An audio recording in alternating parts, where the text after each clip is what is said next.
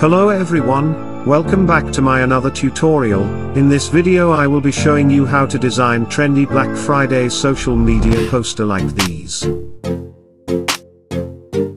Let's get started. I will be using this image for the design.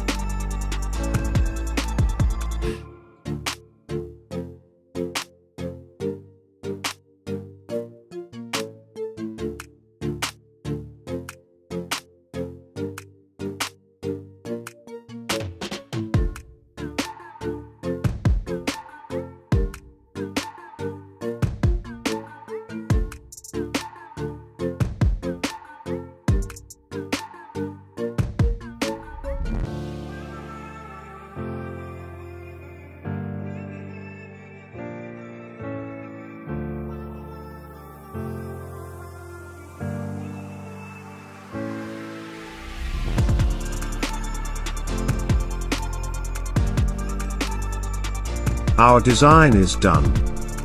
Thanks for learning, please if you have not subscribed to my channel kindly do so by clicking the subscribe button and turn on the notification bell so that whenever I post a new video you will be the first to see it.